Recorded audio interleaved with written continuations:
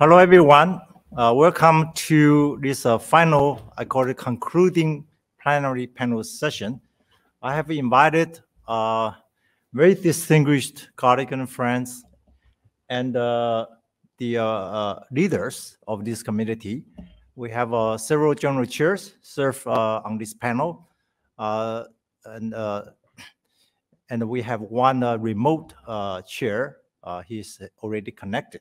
So this is another hybrid mode of plenary session. Uh, so very quick, uh, this is the, uh, the list of uh, panelists and they sit, sit there uh, in that order as uh, you, you, can see on the list. you know, several years ago, I begin to realize that there's an emerging trend or discipline, or rather I should say interdisciplinary area, which I uh, uh, call it service software services engineering. It's not just service engineering. Okay, here we are talking about services, the service com computing community. It's not just software engineering. You know, we need to know how to develop software systems using cutting edge software engineering methodologies, techniques, and tools. It's, it's about software services engineering. Okay, later you will hear more and more about the, uh, if not uh, precise definition, but you will know its context. So in this panel, I hope that uh, by the end, uh, you will get uh, uh the takeaway will be that uh, this is going to be, uh, you agree with us, this is kind of like a new interdisciplinary area, which cut across several conferences we are here holding in this place. Next slide. So uh, after I have talked to a few of, my good friends and colleagues last year, we decided to put together, uh, I call it a foundational paper. This is a, a manifesto about software service engineering. Uh, it's published in ICWS in 2021 last year. You can find it. Uh, so this pretty much give our, as a, you know, this is uh, seven authors, a collective review about what ought to be included in this uh, new uh, newly emerged uh, interdisciplinary area. Uh, next slide, please. So, uh, and with after all the discussion, we found that uh, no, it would be helpful to put together this kind of component view, uh, structured in layers and also in the the vertical uh, cross-cutting concerns such as AI, such as privacy, security, all right, so we put this in this way. This is definitely not the only way to represent uh, uh, this uh, this uh, this area, but this is a way conveniently for us to see this this software engineering stack as well as all other uh, cutting edge terms such as you know, AI, and we also uh, in this paper talk about the challenges uh, in each of these components. Uh, for example, we talk about, talk about AI, and now people talk about responsible AI, and here we call it ethical AI. And you will hear more from our uh, panelists on that too. All right, so in the very button uh, is too small for you to see, but uh, here I actually says this is actually a human embedded computing era. It's not just a human century. It's not just talking about human factor. This is re really human are embedded in daily computing before and after deployment such as autonomous driving. You heard a lot from the past few days. Uh, you know, human can decide anytime to take back the control. So the autonomous driving uh, system will be, uh, no, had to hand over the control to the human being, and the human may change its mind. So this human embedded computing uh, system environment not become much more complex to deal with. I received an invitation just yesterday to help review SWEBOK version 4 uh, if you are in the software engineering community, you know we have the software engineering standard uh, body of knowledge, and actually I, I uh, participate in that initial uh, version. Uh, so and I take a look at this draft very quickly because I just received it. of course, they speak in the beginning. They recognize, you know, we are really facing new challenges such as uncertainties, right, ambiguities in this kind of sensor-laden IoT based environment. Uh, but on other hand, on other hand, I start looking into the area I used to do a lot of research requirements. It seems they still in this version still think, you know, we have to talk to stakeholders, we have to do elicitation, things as usual.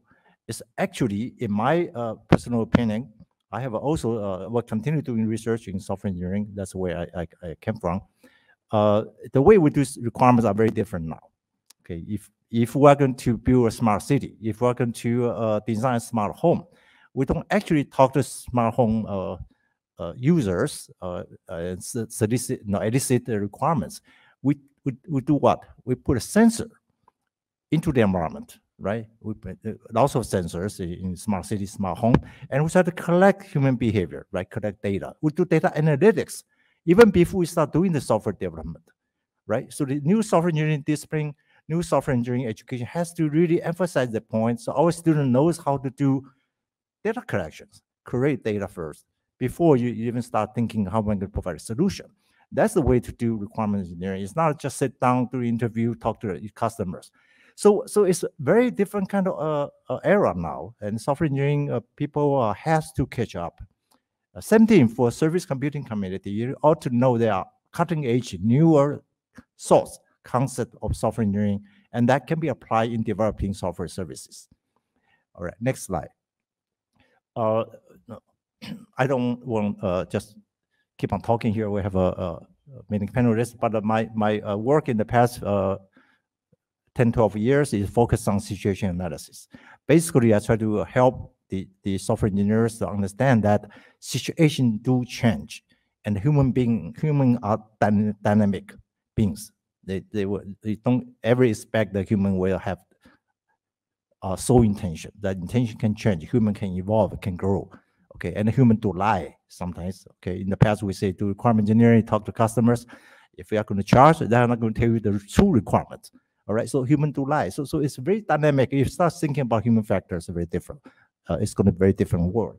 I think uh, Dr. Yau later will also talk about human factors. So I'm going to stop right here and we move to our uh, Michael Chair, who's happened to be connected to in uh, China because he's not allowed, allowed to travel. So um, I pass this to the uh, second slide deck, and Dr. Uh, Zhongjie Wang is going to talk about uh, what he sees in this area. Uh, Zhongjie is uh, now your floor. Okay, thank, thank you, Carl. Thank you, Carl, for inviting me to be with you together in this panel, and it's my great honor. Unfortunately, I cannot go to Barcelona and join your discussion face to face. So I, I do hope this panel can produce rich outcomes which may guide the future research on uh, software service engineering. Okay, let me uh, report some of my viewpoints on uh, SSE. Uh, I call it SSE in big service and uh, uh, internet service area. Okay, in today's service-dominant world, more and more organizations are offering their business in the form of services. And the internet-based software services are continuously flourishing.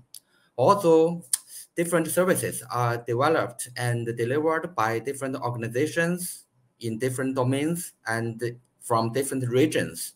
An obvious trend is to connect these scattered services as public service networks, which play the role of virtualized service infrastructure to support innovative business. So many new terms such as big service or Internet of Services and crossover services are used to delineate such phenomenon. Okay, from from the user's point of view, user requirements yeah, are, are more and more diversified, personalized, and constrained. So it's difficult to fulfill such requirements by an individual service, but how to compose multiple services from different domains and uh, form a personalized service solution. So IoS facilitates the construction of such personalized service solutions by the customization of IoS rather than developing a solution from scratch. Okay, so we, we can find a trade-off between the personalization and the and the solution construction cost cost. So compared with traditional uh, SSE research, such IoS-based approaches are more I think are more cost effective. Yeah. Okay. From another point of view, I mean ecosystem perspective, IoS can be considered as a service ecosystem without centralized control and, uh, and uh, keeping evolving along with time. So, for example, new services may join and uh, some existing services may be updated or disappear. So the evolution of IoS triggers many challenges in SSE. For example, so when when the IoS is customized, real-time evolution of indi individual services in IoS must be uh, preciously and uh, timely perceived so that the customized service solutions could could keep up to date. So another challenge is about the decision making of service providers. So for example, how should they innovate their service delivery or, or how, how could they orchestrate their services with other services to adapt to the changing environment. Okay, so elaborate analysis on the evolution IoS ecosystem. So I think it has become an urgent demand in SSE research. Okay, please turn to the next page.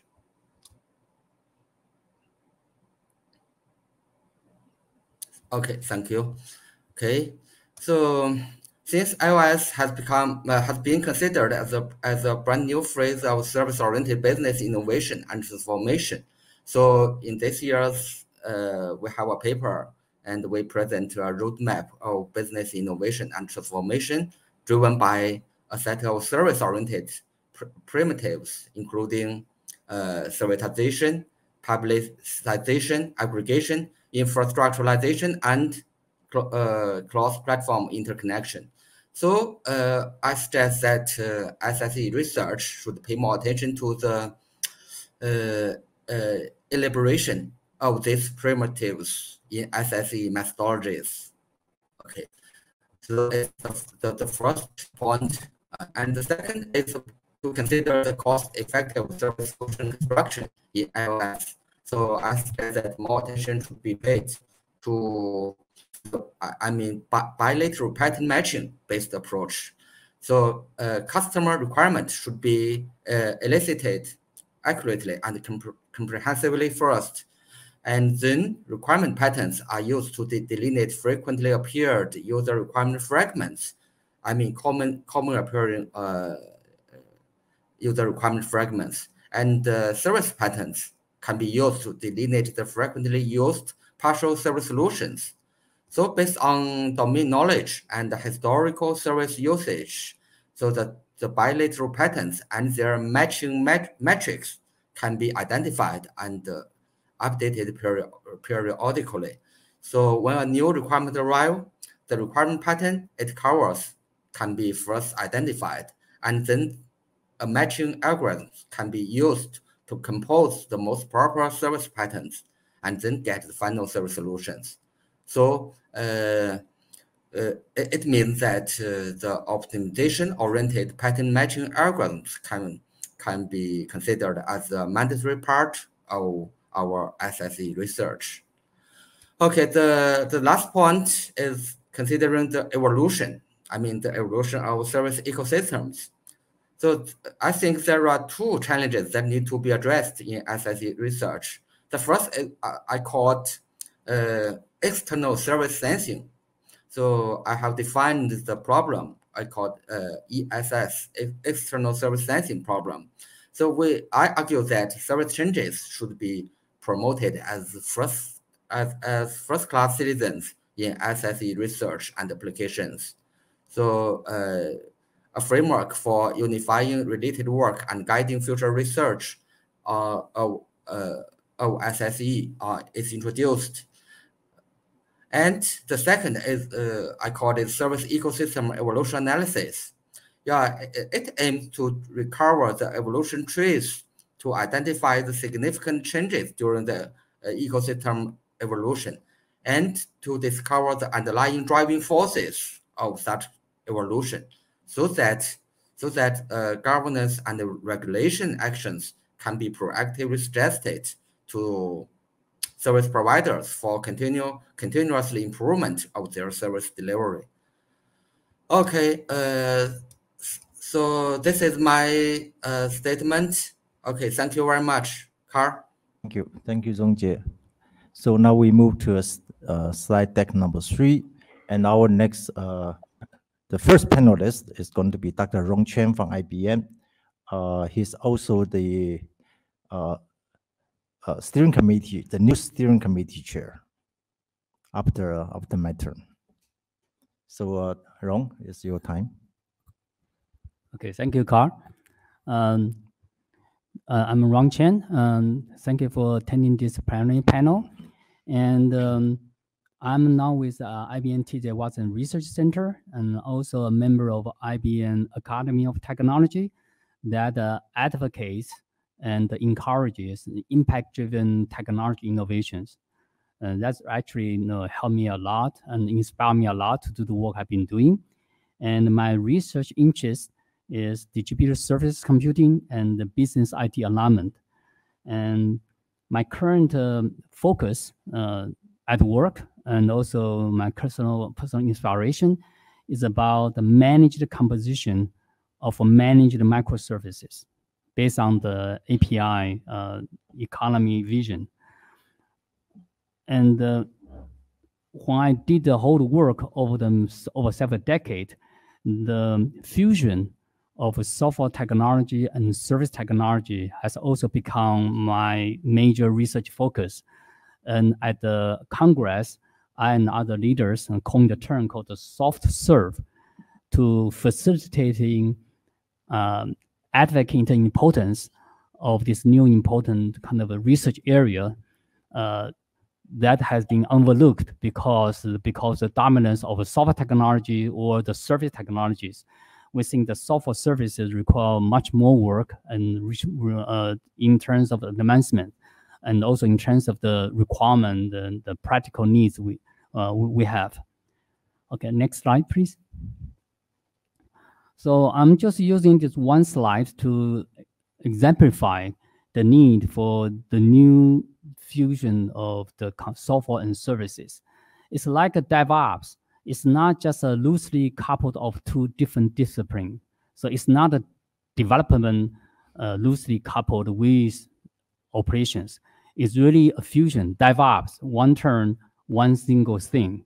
Similar thing, we think the software services should not be treated as two different things. We actually, in my organization, we try to have an organization called software and services research. It's easy to get people somehow to identify themselves to wear the hat, say I'm a software person or say I'm a service person.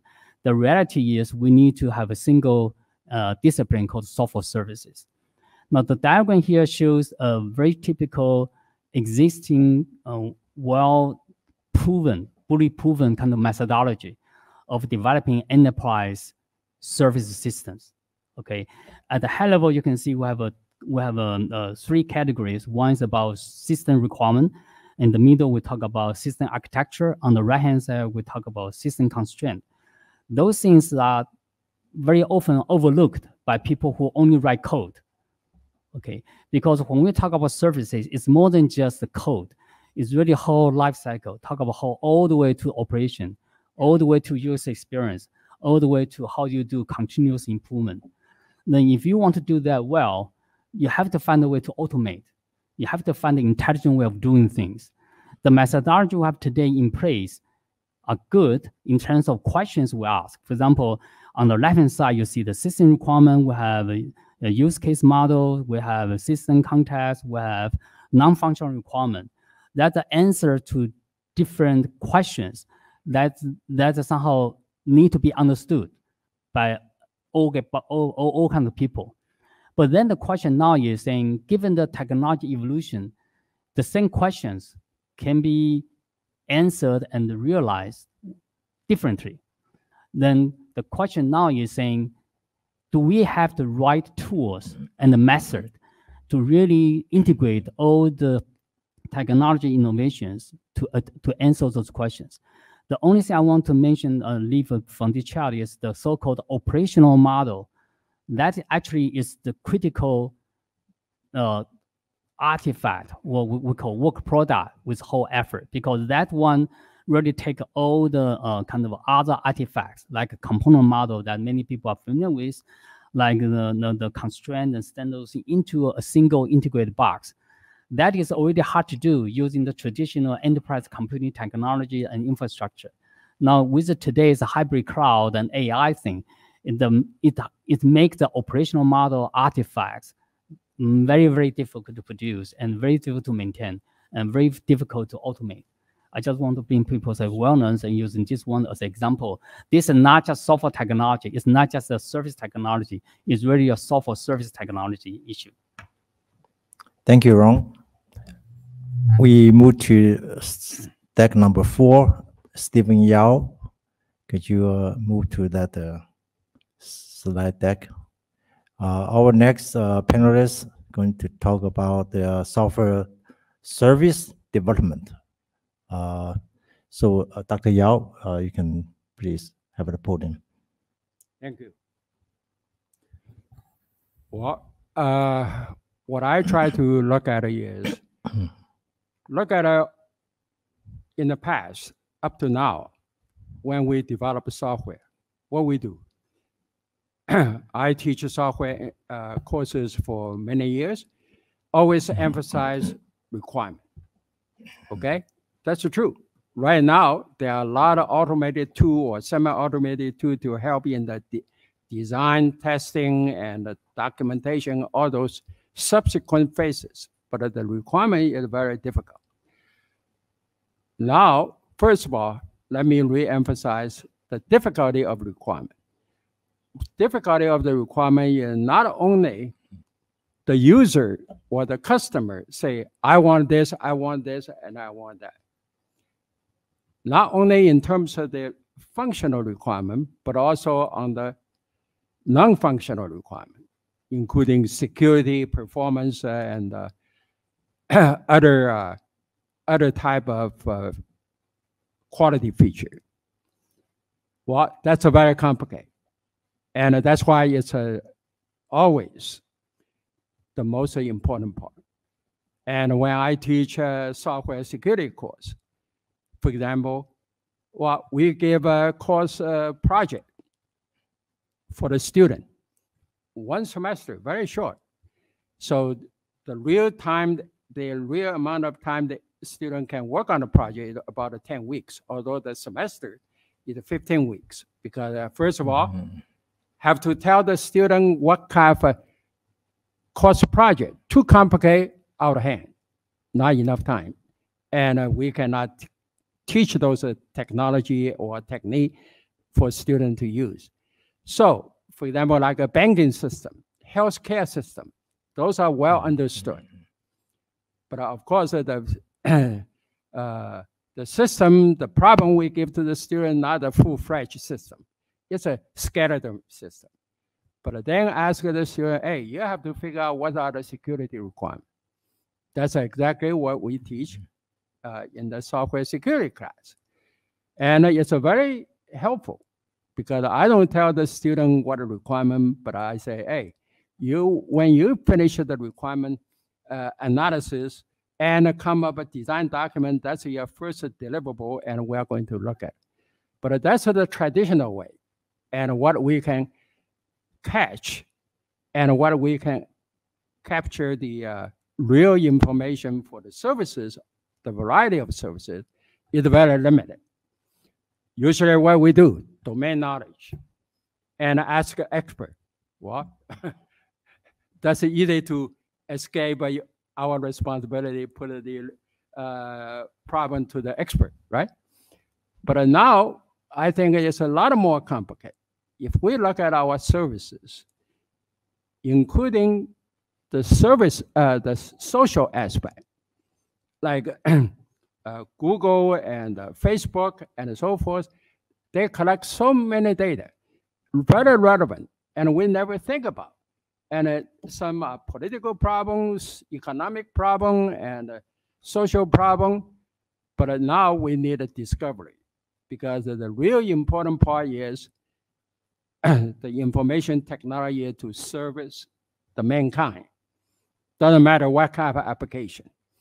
Well, the first uh, keynote speaker of this Congress, uh, Dr. Curiano, Corleone, uh, gave a very excellent talk. I introduced him and I listened every word what he said. Very good. And in addition to the modeling and so forth, the new technology like uh, quantum computing come out. In fact, after his talk, I chatted with him. I say, hey, look at uh, the use of artificial intelligence. the concept and a lot of technique of artificial intelligence existed for the 50 years last. But why all sudden only during the last 20, 30 years? Things everybody jump on the bandwagon, talk about artificial intelligence, of course, uh, machine learning, you know, uh, you can update the system uh, uh, automatically, and uh, when you while you use it, you get a better understand. But that's too passive. How about at the be beginning, when you design the system, where you start from? Expert, domain knowledge, those are just the vague term. We don't know what we. So the accelerate discovery is very, very helpful. And uh, so I am very excited that's the area. But also we have the new technology come out, like quantum computing.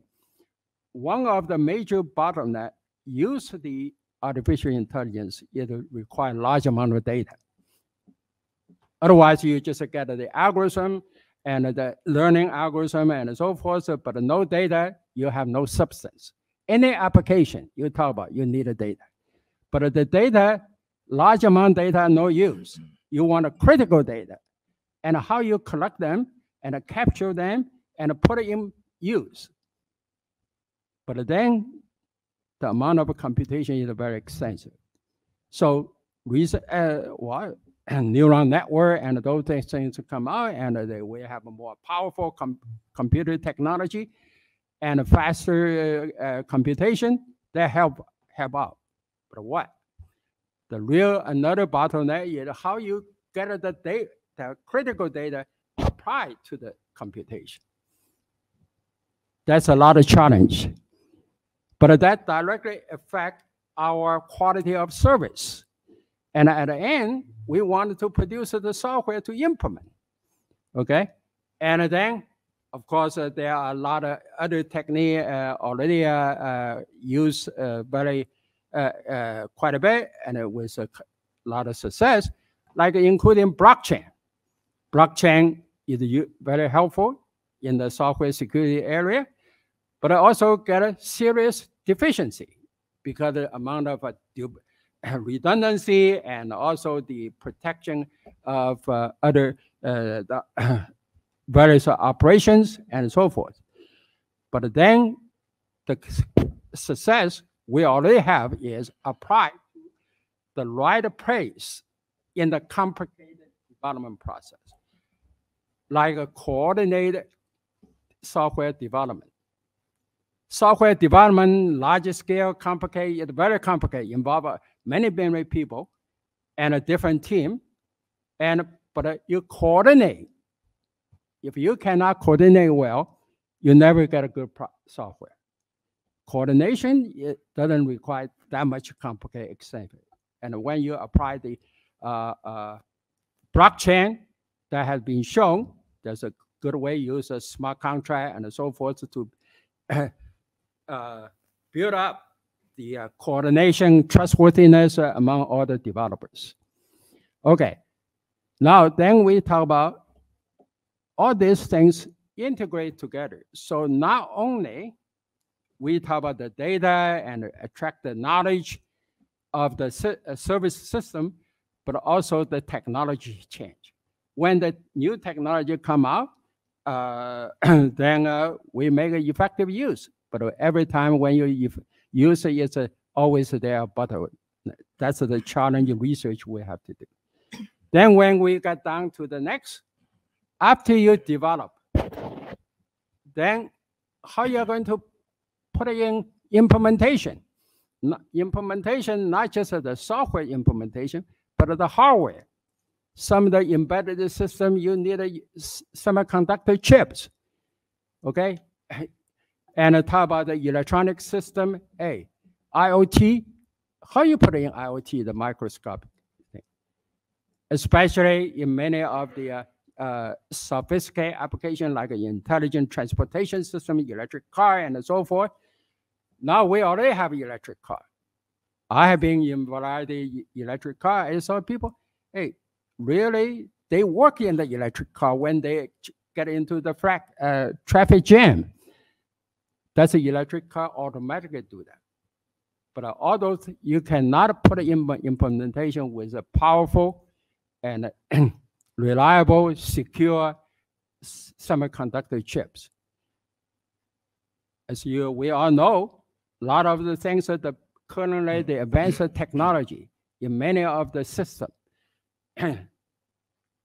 is the reliable, secure uh, semiconductor chips.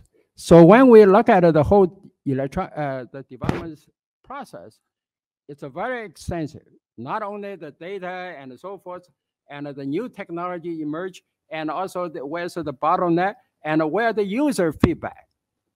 User feedback is not a sophisticated computer design or software designer's feedback. So average user, like an iPhone. So in order to have very good progress and to achieve our goal to provide reliable and secure and uh, whatever system you expect to have in your service system, we must look at much broader uh, view, and all these things must be into take consideration. Certainly, this is a very challenge, especially for educational system. In fact, we always think about, hey, we keep adding the new knowledge to the student. What student have to, we have to extend the four-year program to six-year program. And even that, that's not enough. So one of the challenge what we are doing now is how we teach the student with the uh, uh, write material very quickly. I talk too long, right? Yeah, that's okay. okay. We're a little behind, but that's okay. Uh, we move to uh, slide deck number five, and our next panelist is a cloud generator, uh, Thank you, Yep.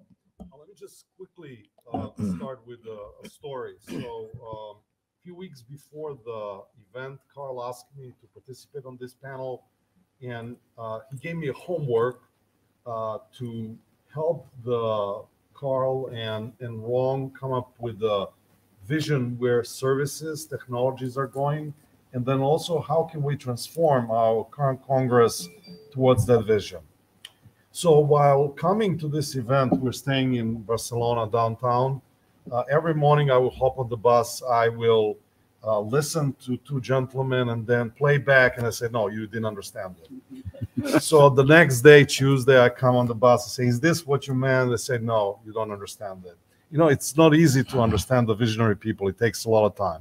So I finally offered to them to play as a guinea pig to their vision and keep on playing back until, you know, I pass the exam.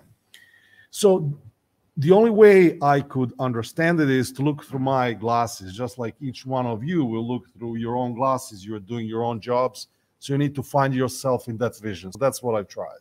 So I started with two things. The first was taking the slides that I presented a couple of days ago uh, and see how their vision maps on that. And then I created a few more slides to see how we can take this Congress in that vision. So can you please show the next slide? So I offered um, not, not a vision, but a summary of what I thought mega trends are today. Uh, and for me, the three key mega trends are digital transformation, sustainability, and metaverse. I thought services are central part of digital transformation already, so we're doing that. There's not much to advance. However, we are not yet there in terms of sustainability. Metaverse, virtualized, simulate everything is far out. So I kind of zeroed down on sustainability. I said, we should really focus on sustainability. It's not a major transformation, but if we are really uh, thoughtful about sustainability, we can make the whole industry happy. Uh, and if you go to the next slide, please.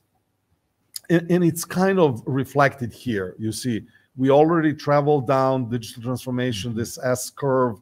we are now embarking on sustainability and, and we should drive on that curve. And once we eventually get to the metaverse, we should revisit.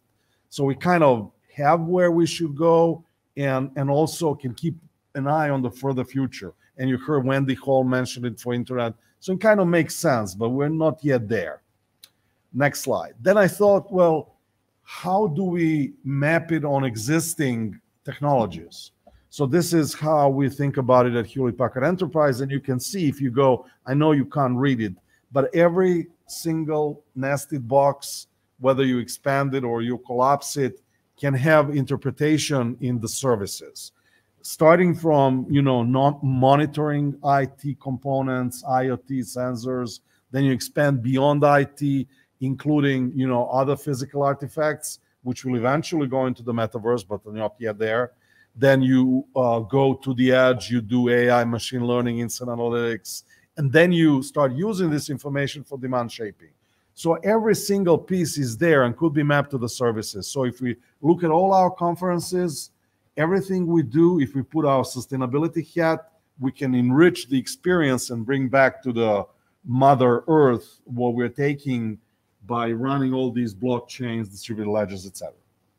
So now that we've potentially traveled down that path of sustainability, how do we apply to our conferences? So uh, my esteemed colleague Rong Chang and uh, Carl Chang, they think, and, and I can almost sense it, even though I'm not as advanced as them, not yet there. Still have a few more bus rides with them to understand. They're talking about soft serve engineering. And then I thought, well, how does it map? I mean, it really maps to the Congress, but Congress is these plenary sessions and keynotes. What's the conference we should take? And then they say, very rightfully so, ICWS has history, you know, we shouldn't touch it.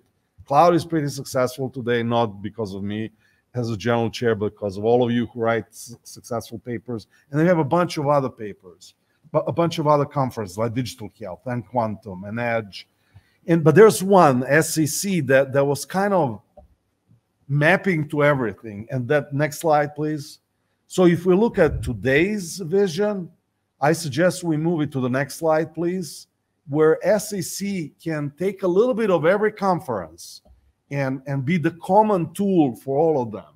Then suddenly, finally, I'm starting to understand a little bit the vision of Carl and Rong.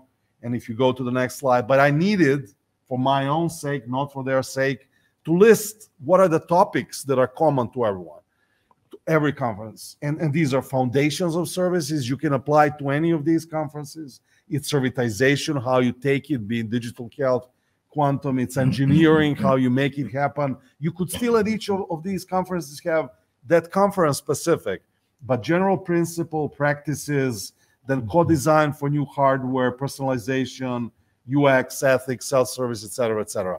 Those are the common themes that apply to all. And perhaps, just perhaps, I have finally understand the vision of my two esteemed colleagues. Thank you. Thank you. We'll move to uh, Congress General Chair uh, Ernesto Damiani, deck number six. Okay. Thank you very much. I, I have a single slide, so this is a, but uh, I will sp speak a little bit on this slide if you don't mind. Of course, uh, I knew I wasn't the first to speak, so many of the things that uh, I agree upon were mentioned, and uh, the vision that uh, we are going to enter into an exciting era in which the engineering of services and engineering of software will be basically take need a holistic approach. I, I entirely uh, share that view, but I would like uh, to speak on one specific thing, which is basically, uh, well, how we, our community, what will be our role in the introduction of artificial intelligence techniques in the in the continuum. And I don't want to say in the network because otherwise people will think it's a matter of you know low-level protocols. I don't want to say in the cloud. I would like just to point you, just came to my mind, 2019 with uh, Beniamino Di Martino, colleague from Naples, we published a column on IEEE Internet Computing, which was the AI-powered cloud. And basically, in in in that column, we we were trying to say an early version of what I want to say now. So it's not just the network, it's not just the software, it is not just the the uh, edge or, or it's a continuum where, which is becoming, a- which is, will be the execution platform for all the infrastructure that, well, uh, we, we heard it from the keynote this morning, the infrastructure where the big applications will be executed. And in this continuum, there is no other way than be intelligent. Intelligent means that you are not only intelligent at design time, which fine, you must be intelligent design time. We know and we heard about uh, software engineering and the requirements oriented. Basically, it's knowledge we have a priori. But there is a lot of knowledge that uh, we cannot, we don't have a priori, and that we, we will not be able to have it a priori. The knowledge about the execution situation, the knowledge about the changing user needs, even the location. Uh, I don't know if yesterday you you heard the discussion about what happens, the notion that you we are going to uh, start to stop assuming that we know the location of, of people over the network, even the virtual location, even the address location. And this changes a lot. So we have this notion that we uh, will need to be intelligent at the moment. And this brings back a topic we discussed it on the bus as well a couple of times uh, during this day this week this uh, this week uh, which is the topic of uh, autonomous intelligence the autonomous intelligence of the environment and this is where we need to uh, handle the uh, or, to take the artificial intelligence challenge. Because this intelligence in the environment cannot be brought uh, with uh, uh, let's say standard techniques. We will need our own type of learning.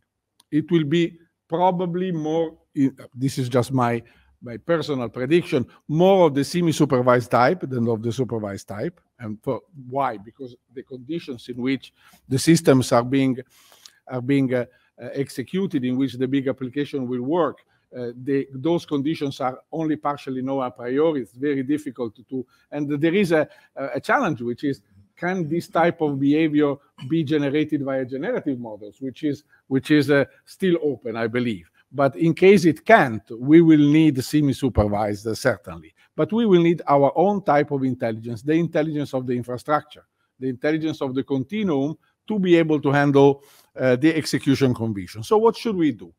So this is basically my uh, preliminary statement. I think we cannot this it must be us. It will not be the machine learning people. It will be us because we you need to understand the knowledge representation and the knowledge handling issues that are uh, specific of the service uh, delivery of the service deployment of the service execution. So we can help ask help but we need also to be able to propose ourselves our solutions and uh, uh, we, we need to, to do it as a community so let me just go through very quickly these four bullets first of all as a community means that, uh, and we had a good example here during this Congress. I hope this example is developed in the next editions, having together the academic, having the operators sitting here, having the companies. And uh, well, uh, I know that Rong shares this view. We, we need to talk continuously together about that. We need uh, to uh, be able to apply uh, to make our systems intelligence at the design time, at the configuration time, at the execution time, enabling them to find autonomously or semi-autonomously the right configuration. And yesterday, I believe that we all got convinced that uh, this is essential if we will have, for example, metaverse type of application running. We cannot do them with a priori uh, uh, configuration and a priori design only. They need to be adaptive in the field. Finally, we need to be practical we are a service community so so we have to deliver services that work and of course even there is a, an academic side there's a foundational side Athman here will probably mention that but we need to make sure that the type of foundational research that we do can actually contribute to the overall evolution of the platform and let me finish after the keynote this morning we must also recognize that many of the concepts and the behaviors that we will implement will be ethically loaded. And so we need to take responsibility for that. Uh, we cannot just pretend we don't know. So network uh, uh, uh, neutrality is one of, but only one of the of those uh, concepts that uh, that uh, we will need to take into account. So I stop here and uh, thank you very much for listening. Thank you, Ernesto. Uh, we move to uh, Athman uh, Bouguettaya for the uh, set number seven. All right. Uh, Thank you, Carl. Um, Before actually I talk about uh, what I'm about to talk about, I would like first to um, start by saying that we probably should not reinvent the wheel in the sense that um, we should always look for the best practice in other areas uh, so to define actually directions. Um, uh, My early background was actually in the area of databases. Then I moved to service computing. I think they- they got it right, if you want my opinion. So you have, you know, in terms of the conferences and then the focus, they have um, a database, they have uh, conferences that focus on the foundation and the uh, uh, the theories, the framework, and everything. And there's the one that was more practical, like you know, you have SIGMOD and VLDB that mostly in the foundations, and then you have ICDE, which is basically on the engineering side of things, right? So I think probably we should uh, look at those models in terms of how we go about defining the vision, right? So, so this is just as a preamble to what um, about say. Next slide, please. Um, so if you can just keep, because it's actually, I thought that I would do it myself. Yeah, that, thank you. That's all. Uh, so um, in terms of uh, the design of software services, I think um, uh, I- I'm going to focus on the IoT-based uh, systems because they are very, very, you know, particular in the sense that uh, they can be extremely complex, right? Uh, depending on the application, uh, whether it's a smart home, smart city, smart aging, what it's about autonomous cars and the likes. You know, you can go as as long as the uh, uh, hadron collider, right? I mean, we have like you know literally almost millions of sensors that are inside, right? And you're trying to figure out actually the smallest particle that uh, exists in the universe. Um, so, so the idea there is that to engineer these systems actually, and you want you don't want to engineer at the data level because at the end of the day, what you want is you want the juice. The juice is essentially either you know in the case of the uh, hadron uh, collider is to find that particle uh, or the behavior of a particle. Uh, in the case of autonomous cars here is basically to understand the context and to take action, right? I mean, whether it's driving, whether it's braking, whether actually so and a lot of things need to actually happen before you do that. I mean, it- it's not the data; it's actually the understanding. Which, when you talk about and this is the AI based, it's it's very very um, complex actually uh, systems that we're talking about here. Uh, next slide, please. So, so and uh, the if we look just at cars, you know, the latest cars, you know, they have more than 100 sensors, you know, monitoring various parts of the car, and this multiply. So, and then you have sensors like, you know, the Fitbit, the health sensors. Next, please. Um, and then you have, as I said, the Hadron, where you literally you have a lot of data, and then you have uh, traffic and environmental type of, uh, um, uh, of, of- sensors. So, and each system is actually maybe different from the another one. So you can't really replicate, right, whatever you learn in one to another. Because, the, like for instance, for cars, the thing that is the most important is reliability and safety, right? If you go, for instance, for smart aging, it's about actually accuracy, that actually an event has happened.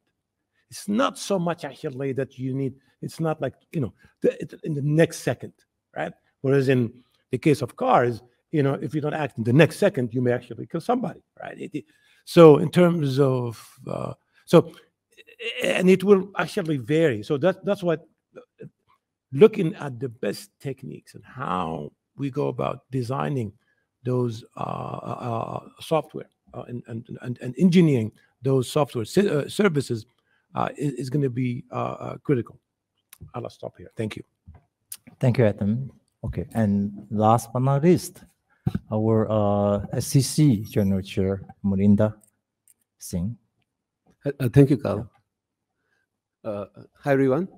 So, um, well, le- le- let me just begin by saying, so I'm uh, uh, Munindar Singh. I've been working in AI primarily, uh, initially for my PhD work on multi-agent systems, and for the last 20 years or so, which is much of my career, I worked on services. So I've, I've sort of been fortunate to work on two important areas. Um, I thought in this presentation I would take a take a deeper like step back and take a you know a deeper broader vision of what's going on and especially when we talk about software services engineering we could think of them from, from a, fre a fresh perspective, which I call uh, socio-technical systems. So if you go to the next page. Uh, so th this picture uh, outlines uh, you know what you might think of as of a system in when it's running and the system how it's designed. So if you look at the the right frame, the red big frame, you know up above we have what I call the social tier, and below that green line in the middle we have the technical tier. The social tier is where people live, organizations live. Uh, we call them stakeholders. The other ones who are you know the reason for the system that we're talking about. Uh, below the line in the technical tier, we have agents, you know, software agents, you could say, or hardware agents. We have data, devices, uh, everything.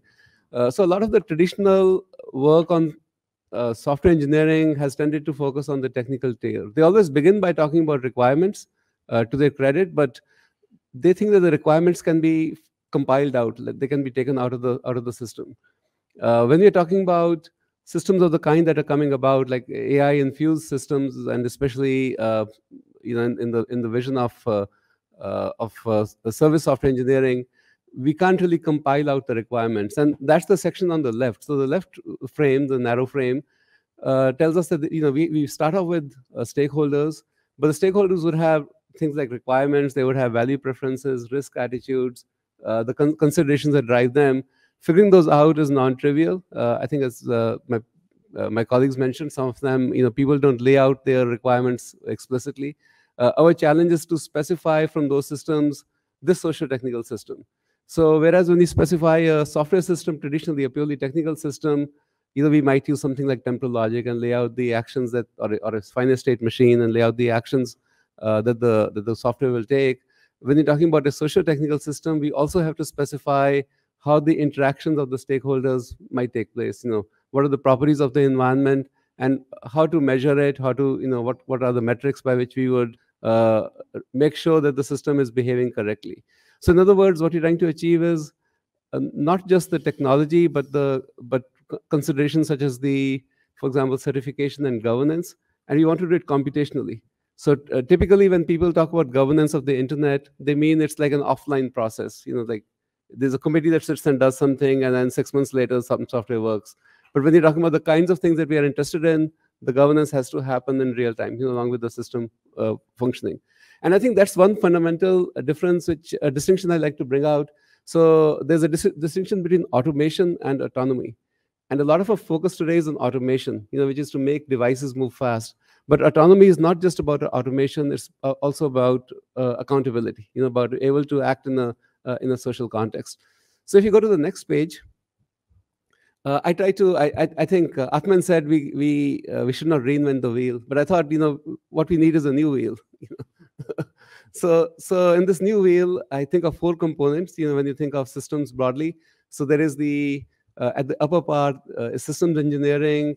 Uh, on the left is intelligence, where the AI uh, technologies come into play. The lower side is the humans, uh, broadly speaking, uh, not just HCI, but humans in a, in a deeper sense. And on the right, we have governance.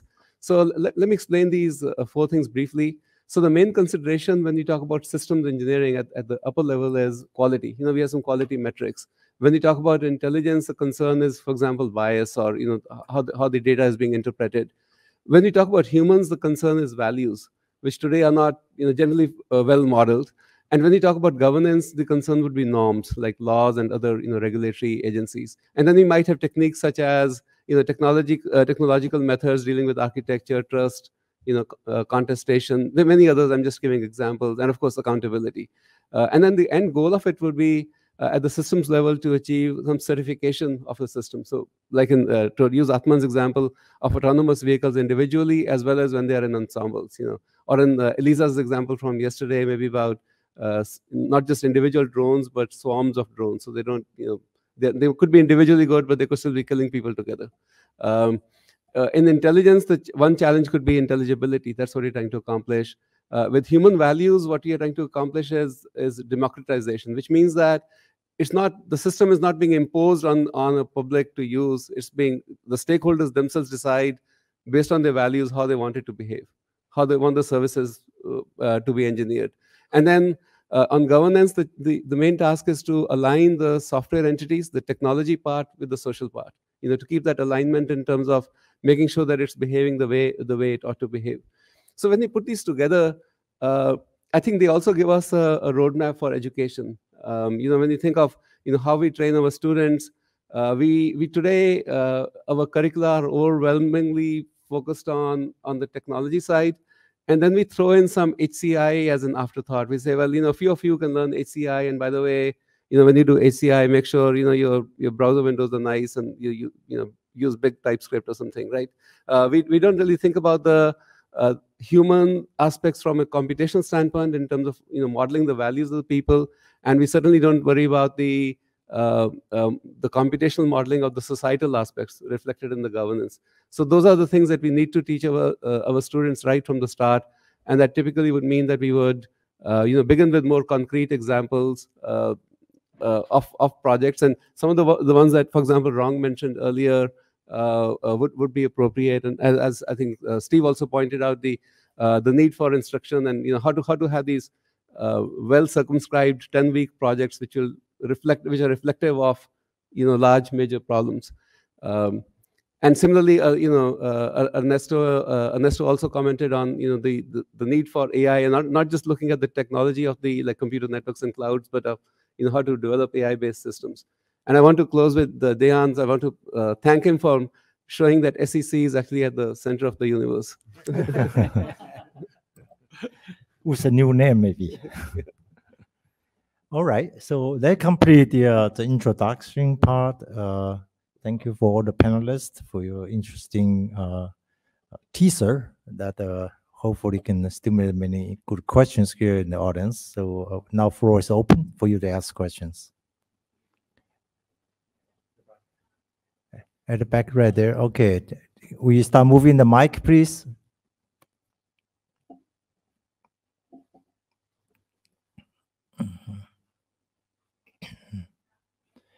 Right here.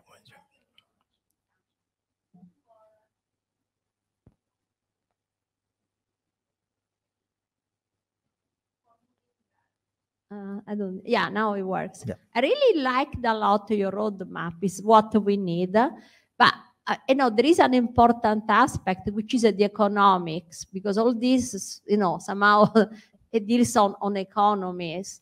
So where do you feel? I mean, uh, is this an aspect which pervades all the aspects, or perhaps is it the values? Yeah, I, I think it shows up. Um, ec- the economic aspects will show up uh, most immediately in the governance notions because that's where the incentives come into play. So I, when I said norms, I, I you know really could be re- interpreted as norms and incentives. Uh, but of course, it also reflects values because there are trade-offs, right? You, we all, for example, using the example of uh, autonomous vehicles, we we would all want perfect safety, but perfect safety might require building a tank, right? Uh, which never can never can you know suffer in a crash. Uh, but that that turns out to be impractical for various other reasons. So it's trading off these competing values. Yeah, but then it means that your system may continuously change. E- exactly, it, it'll have to change. Yes. It will have. Yeah. Yeah, Okay. yeah. Uh, so. Gentleman at the back, back row, number fourth row from coming from the back.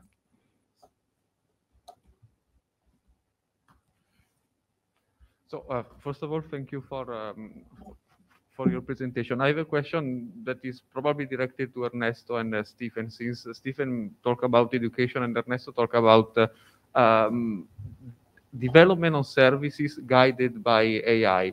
So I would like to know uh, what is your take um, on the role of service engineers in the medium term in a world where we really started developing system at least partially in a completely automated way guided by um, AI. Thank you. Who wants to go first? I, I, I can I can say something on this. Uh, well, the role of the system engineers, uh, as I said, we will all of us uh, will need to integrate uh, the perspective, what is called today the AI perspective, but uh, into the work that we do. And uh, let me give you an example because it came to my mind when from what Athman was presenting.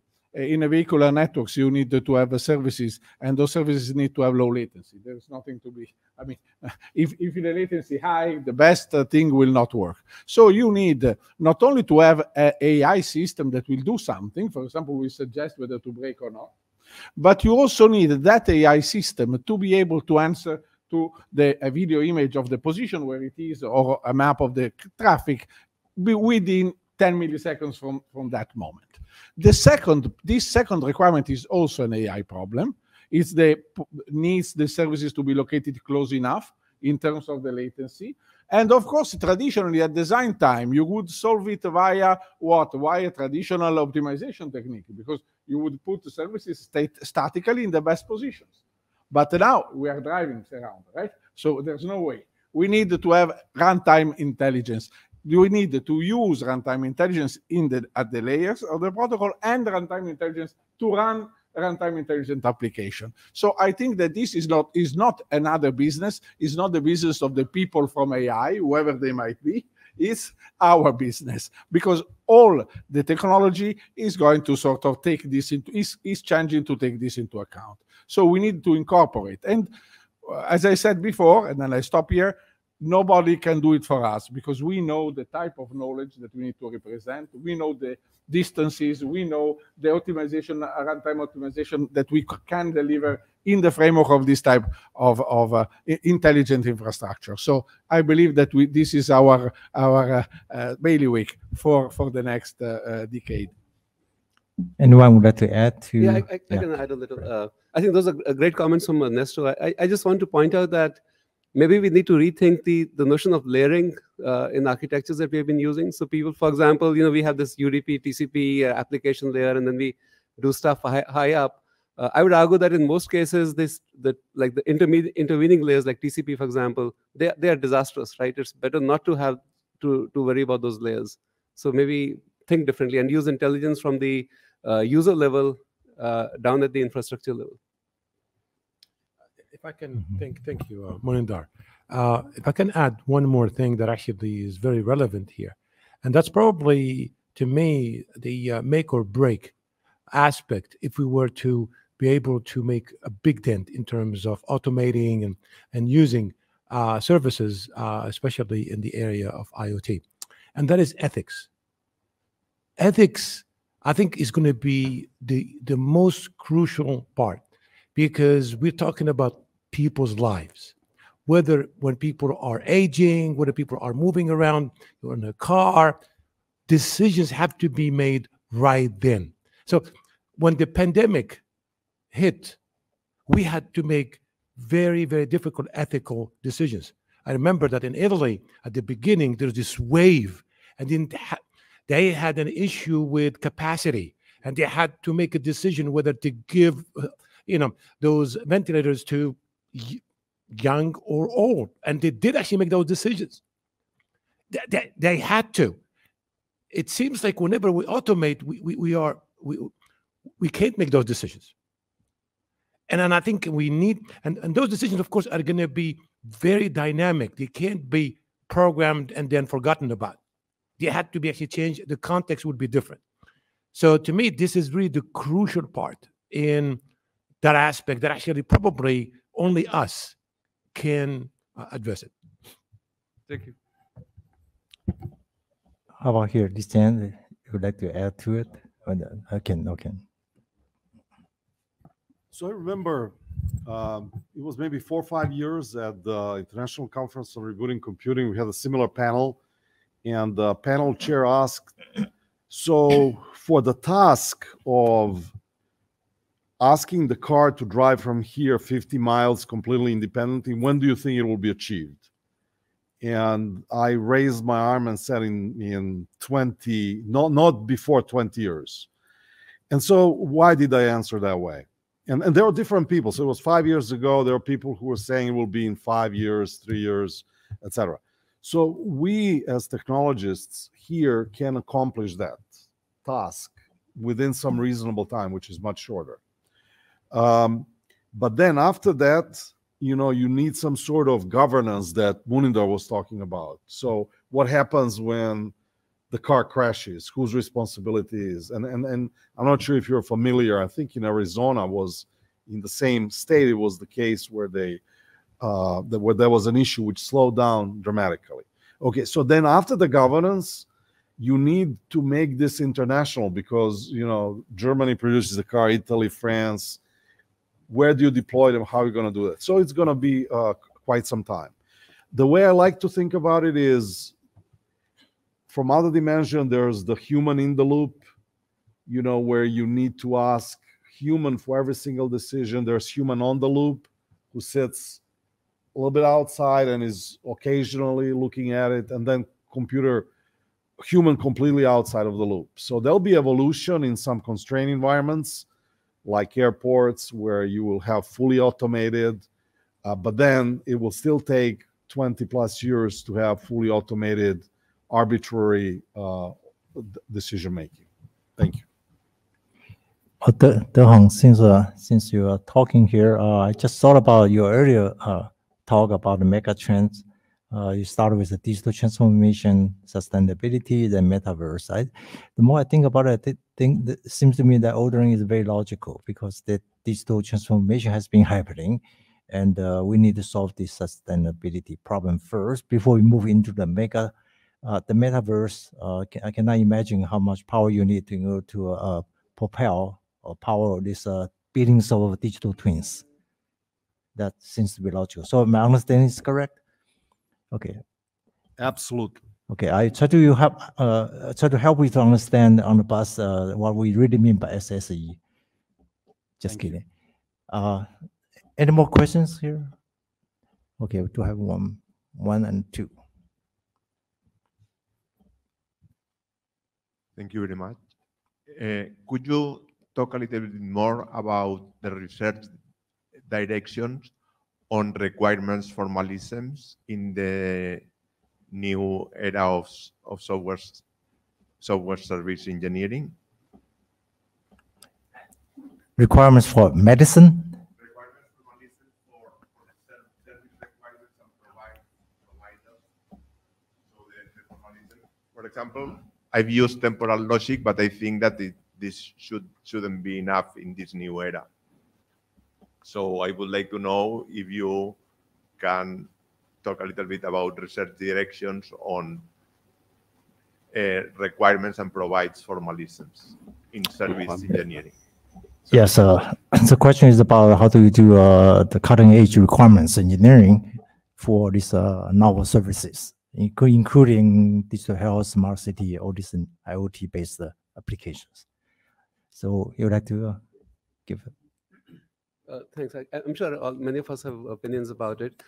Uh, I, I- think for requirements, one thing to note is that we should step away from individual nodes. You know, a lot of the focus in traditional software engineering is to build either single node systems or systems that are essentially homogeneous systems. The nodes are all identical.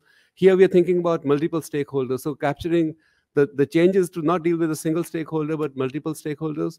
To, so we model, uh, essentially we have to capture uh, we need requirements for social protocols, not just for the communication protocols. We want to capture how the interaction between the stakeholders takes place and how the, and then figure out how the technology will assist, uh, you know, the, the those interactions. And partly it also includes an understanding, you know, modeling human values more precisely to take into account. And I could tell you more, but I think my colleagues will have, a, I, we can tell, uh, talk offline as well. Yep. To mention, sorry. I, I just be very quick. I, I don't know if I, uh, I can add something to this answer, which was already very good. And, uh, but I would like to say something. We will have to have this type of uh, uh, reconciliation between uh, what could would be symbolic representation. And the symbolic representation, of course, temporal is, is one of uh, is a key technique. And uh, uh, if you look at, uh, I don't want to go back to that column, but in that column we wrote uh, in attribute computer, we were discussing exactly this thing. There are some requirements and behaviors which are best represented in a symbolic form and precedence relations. There are all of these type of things. On the other hand, if you want, in many cases, you have to do a verification and you have the basically, uh, uh, how can I say, the evidential, the uh, observables.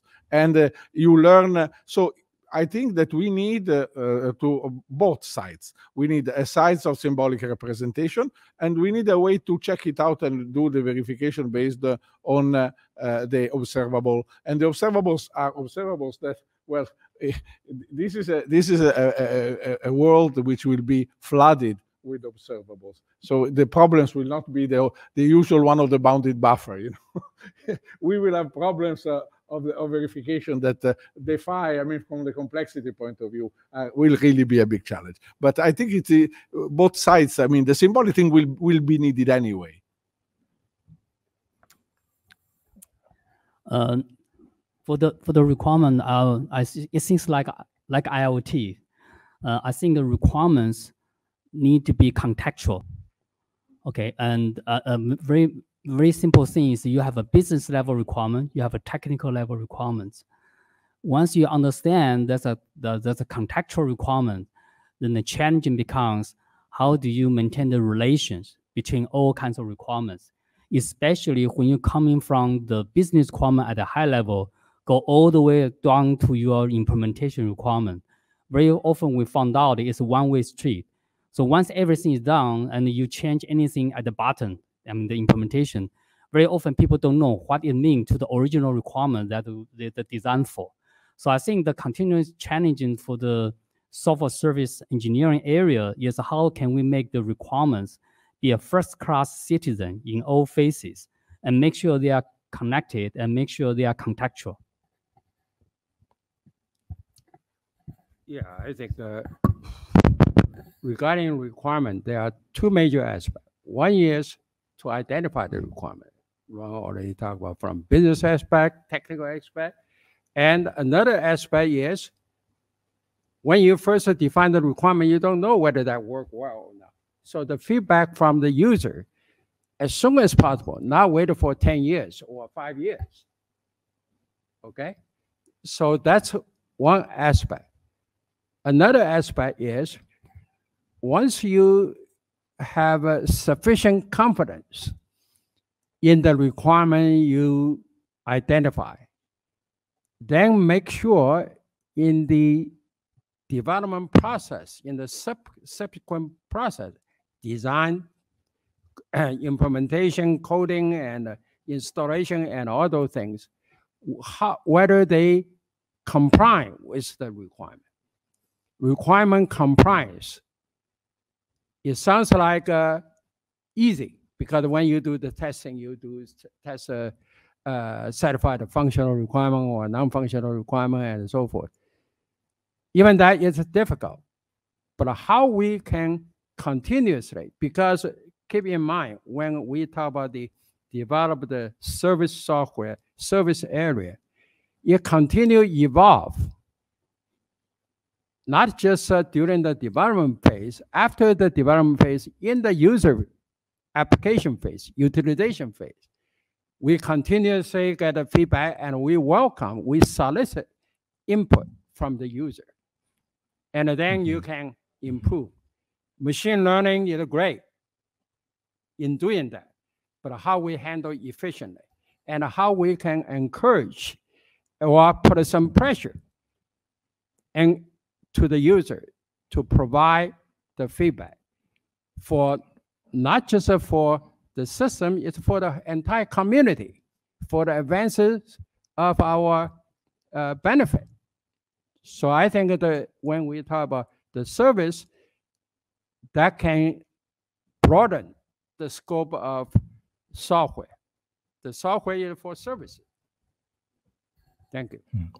Right? I think it's a hit me that uh, uh, in this kind of uh, like autonomous autonomous driving, uh, you get feedback from the environment or from the user uh, in real time, and that uh, how do you deal with that feedback? And the, the requirements may change right on the fly, and all these kind of some of these are hot deadline issues. So I think you know for temporal logic, actually real time temporal temporal logic seems to be become very important technique for dealing with that.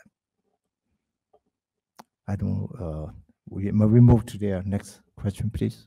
Okay, so I would like to ask the panelists' the opinion on the role of non-functional aspect in software service engineering. For instance, I took some note. Dejan mentioned about cyber assurance. Munindar mentioned certification. Athman discussed about ethics and reliability. Uh, Rong had non-functional requirements uh, at the core of uh, his uh, uh, presentation. Ernesto mentioned uh, AI trustworthiness, and Stephen mentioned reliability, chip reliability, for instance. So, uh, where we are in implementing and designing a software service engineering process that support and maintain this non-functional aspect along the whole service lifecycle. Thank you. All right, this perhaps the last question, so we'll go from zone going that way back. Okay. Um, I, I, I mm-hmm. would start, I would say just if I can only choose one word, I would say assurance. The service assurance aspect of mm-hmm. the software service engineering. Because you know, for for the when we talk about software only, we essentially leave the responsibility to the owner of the software, right? We say, here's the code, you do whatever you like. But when we talk about service, the service provider basically do almost do everything for the service consumer. So the assurance aspect is very important and it's getting exponentially complicated right now. That's that's a very good response. So we go go to the next one, and everyone gave a keyword, just like what the Rong did, and then we conclude the panel. Uh, Professor Yau, you have any any additional, or we pass to Dejan? We pass to Dejan right for now. Yeah. Well, I don't have one word. I think it's really hard. Then every provider needs to invest a lot of effort. You know, I mean, every single aspect is important. You know, uh, security, scalability, reliability, all of them. I mean, you could package it in assurance, but um, you still have to support them all, and it matters whether you'll stay in business or not you can theorize, you can provide best practices, standards, etc., but uh, you still have to invest a lot into it. I will try to say five words, not one, because one, one, one.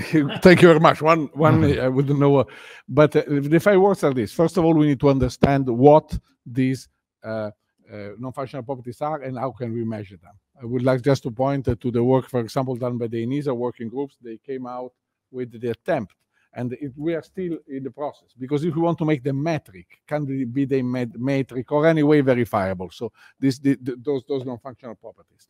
I'm sure uh, the others will comment on that. But i want to add this. I believe there are two ways to impose non-functional properties of interest or especially the one of ethical interest education and police.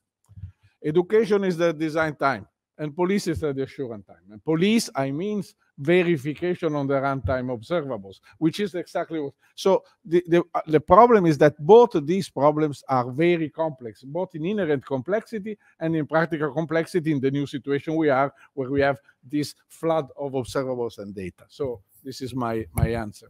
But, uh, one word, everything. Yes, I'll, I'll give a slightly longer answer. I, I think uh, maybe the two words are you know job security. I, I think job security for people in this community, because the situation is pretty. You know, we, we don't know we, we don't know what we don't know how, what people want. We don't have a method for capturing that. We don't have full languages for uh, proper languages for capturing it. We don't have representational frameworks. We don't know reasoning. You know, we so there every everything that we are doing, we are doing. Uh, we are headed in the right direction, but everything is really far behind where it needs to be. Okay, my one word is usability. Not a usability for the expert or developer. For the average user, we want their input, right? And what kind of input? And it should be easy. If you make it difficult, you don't get it. So any service system we have, software we have, must be easy to use, especially our software is expected to be modified and continue evolve. And uh, we all know we get used to one version. And now the manufacturers say, hey, we have a better, have a new version. Then change a lot of the icon and other things. And that only causes a lot of headache for the user. And then uh, because of that, some of the user may switch to use the system. So my one word here, the usability. I think that uh, really uh, give a very good uh, concluding uh, remark that uh, after all, services is for users. So usability, user, user experience is, I think, is the is the king. Eventually, as I shared with you, I lost the phone. Uh, and uh, lost a, a phone is is a is a major headache. You know, uh, you're gonna get harassed by lots of people. Uh, no, uh, I cannot remember my serial serial number of my phone. I don't know anything about IMEI number, the 30, 30 digit number. I cannot. The OTP won't work because I lost my phone. I cannot receive OTP. So, so how do you help people? User, okay, user is the king. And when we're talking about services, yes, uh, Lisa has a final remark.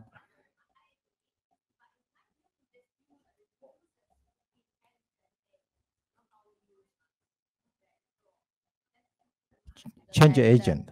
No, will be intelligent agents. intelligent Won't be agent. only humans. Mhm. Okay, users will be Ah, okay. machines, robots. They need their own services as well. So let's keep this in mind. Yeah. So you're going to use more power. But but at the end, it's All right. I, I think that uh, if my uh, co-chair doesn't object, I think that we uh, can just end here. And we'd like to thank our panelists for your excellent talk and remarks and uh, all your uh, feedback. Thank you.